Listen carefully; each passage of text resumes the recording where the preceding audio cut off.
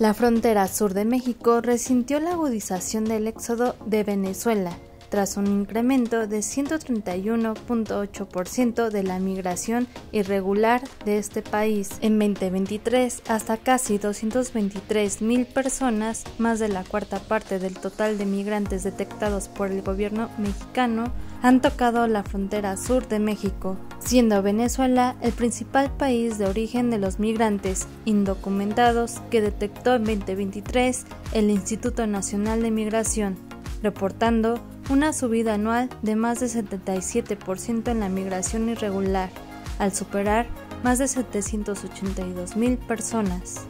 Además, venezolanos fueron la sexta nacionalidad con más solicitudes ante la Comisión Mexicana de Ayuda de Refugiados,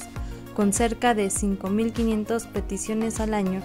Cabe señalar que el arribo de venezolanos ha sentido con particular fuerza en Tapachula, en la frontera de México con Centroamérica. Expertos activistas indican que los migrantes llegan a México por la crisis económica, por problemas políticos, falta de alimentos y necesidad de empleo en Venezuela. Además de que la situación se agudiza mientras Venezuela se prepara para tener elecciones en 2024